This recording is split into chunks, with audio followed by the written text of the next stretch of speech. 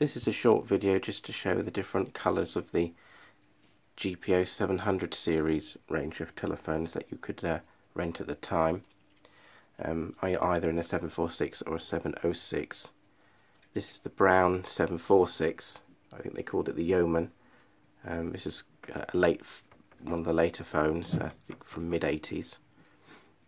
Um, this is a 706 in red.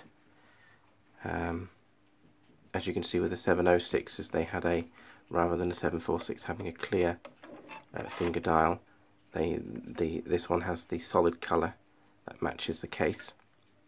It has a on off bell on off switch there. This is a two-tone green it's a 706 again except that this time the phone has gone back to the GPO uh, I think at some point in the 70s when the um, alphanumeric number rings were no longer required so it's been replaced with just a, a green bezel and um, the see-through uh, number dial again.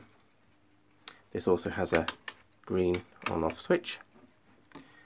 This is a two-tone grey. Um, again, this is a 706 with the original finger dial there um, and the alphanumeric ring around the edge. This also has a bell on off switch, so that's four of the colours you could get.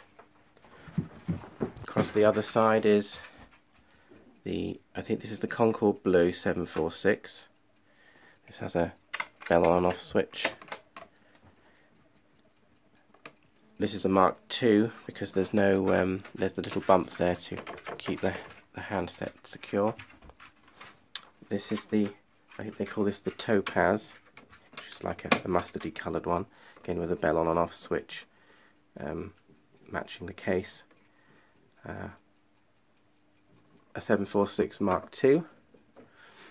This is the black, this is a 746 Mark 1. This has a clear bell on off button.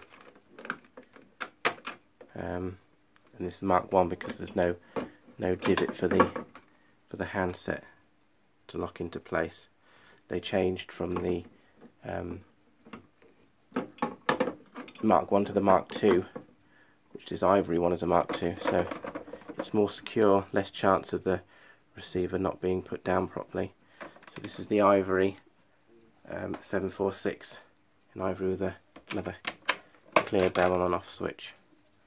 So that's basically all the different colours that you could have rented these 700 series phones in.